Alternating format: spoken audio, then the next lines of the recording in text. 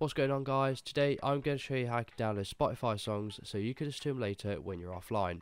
This method will work on iOS and Android. So the first example we're going to use is to download an album.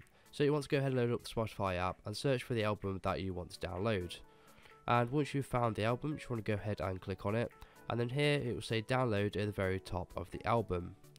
Now once the album is downloaded, in order to access it, you just need to go ahead and click on your library in the bottom left sorry the bottom right. And then you want to go ahead and click on albums. Then you want to scroll up to see the search bar. Click on the three arrows in the top right and then click on downloads. And here you can view all of the downloaded albums that you've got in your library.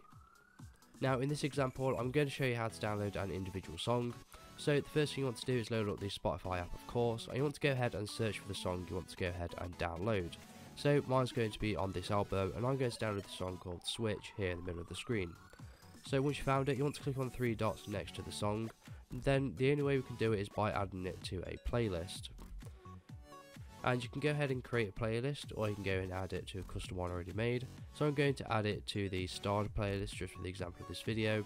You could also click on the three dots and like the song and when you do this it's going to add it to your global library under your profile.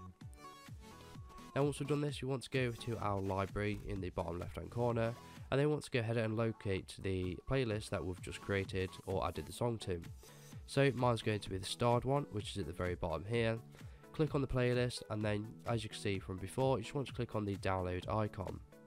Now this is the only way you can download individual songs so you will need to put them inside a playlist first or inside your entire library and download that.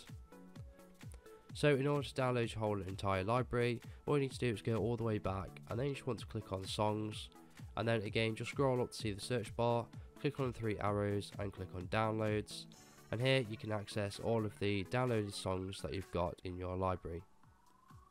So if this video is helpful, please leave a like and pass it on to someone who may find it helpful as well. If you have any questions or comments, just leave them below and I'll reply to you as soon as possible. So thank you so much for watching and have a good day.